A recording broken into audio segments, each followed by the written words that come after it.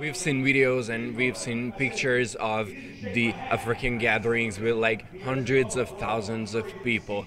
And then after you come here to, to Hungary, and yesterday we've seen, yes, a lot of people. It was glorious, but still, there was tons of seats empty. Yeah. How does it make you feel, see that here? Uh, it doesn't bother me. This it's not about it's not about this isn't a show. I'm not I'm not trying to sell out a venue. I'm trying to preach the gospel.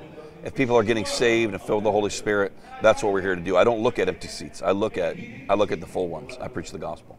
Yes, it, but it says a lot about maybe the church that how many non-believers can they reach in a gathering? Well, I mean, look, it's it's not about one event. So we have to we have to take a long view. If you focus on individual events, you're always going to be upset about things. That's good. We look at the at the big picture. The big picture is the nation.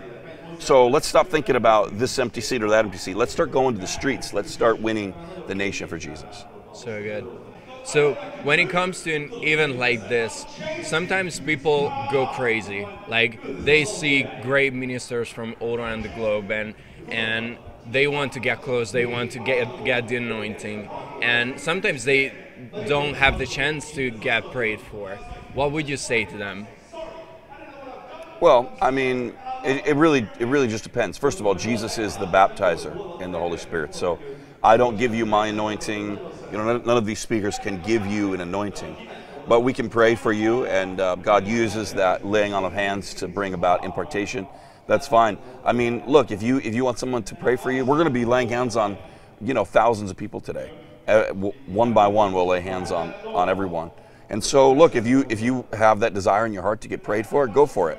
I mean, when I was a, when I was a teenager, I would get prayed for sometimes ten times in one service. You know, uh, so it's okay. I, I I understand that hunger.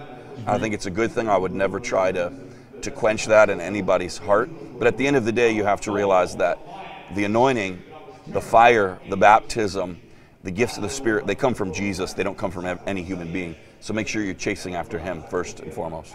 So good. So during this event so far, we've seen a lot of non-believers turn to Jesus, but also we've seen so many Christians meeting with Jesus also. So this is part of your ministry, leading Christians to Christ. Yeah.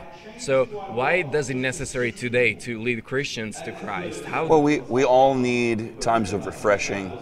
We all need uh, fresh encounters with Jesus.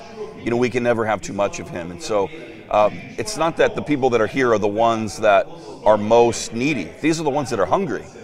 So it's, it's actually to their great credit that, that people want to come, they want to hear, they want to receive. And I believe that God hears those cries. He sees the hunger in people's hearts, and they won't go home disappointed.